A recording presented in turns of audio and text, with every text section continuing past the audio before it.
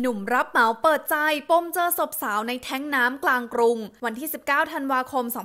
2565ตำรวจสอนอหัวหมาก และเจ้าหน้าที่มูลนิธิร่วมกตัญญูรับแจ้งเหตุพบร่างหญิงสาวภายในแท้งน้ำบนอาคารพาณิชย์ซอยรามคำแหงซอยหนึ่งกรุงเทพมหานคร จึงนำกำลังเจ้าหน้าที่เข้าตรวจสอบค่ะ ที่เกิดเหตุเป็นอาคารพาณิชย์สูง 4 ชั้น สภาพเก่า โดยบริเวณชั้นดาดฟ้ามีการต่อเติมเป็นห้องมีหลังคาสำหรับเก็บแท้งน้ำซึ่งเจ้าหน้าที่พบร่างหญิงสาวอยู่ในแท้งน้ำจึงรีบนำร่างออกมา โดยเจ้าหน้าที่อยู่ระหว่างการตรวจสอบร่างหญิงสาวคนดังกล่าว พร้อมหาสาเหตุที่เกิดขึ้นค่ะ จากการสอบสวนนายประดิษฐ์อายุ 35 ปี ผู้พบศพคนแรกเปิดเผยว่า ตนและเพื่อนมารับงานรีโนเวททากันซึมบนชั้นดาดฟ้าของตึกดังกล่าว และเพิ่งมาทำงานครั้งแรกเมื่อเช้าวันนี้ เมื่อเข้ามาถึงตอน 9 โมงขณะกำลังกินข้าวอยู่บนชั้นดาดฟ้า ก็ได้กลิ่นเหม็นออกมาจากแท้งน้ำที่มีขนาด 1,200 ลิตร ตนกับเพื่อนเห็นว่าผิดสังเกตจึงรีบปีนขึ้นไปดู แล้วก็ส่องไฟ พบเห็นเป็นศพไม่ทราบเพศ ผมยาวนอนคว่ำหน้าอยู่ในแท้งน้ำสวมเสื้อผ้าคล้ายเสื้อยืดและกางเกงขาสั้น ลักษณะเน่าจนแห้ง มีหนอนและคราบน้ำเหลืองเต็มแท้ง ซึ่งไม่มีน้ำ แล้วก็รีบแจ้งเจ้าหน้าที่ตำรวจและกู้ภัยมาตรวจสอบดูค่ะ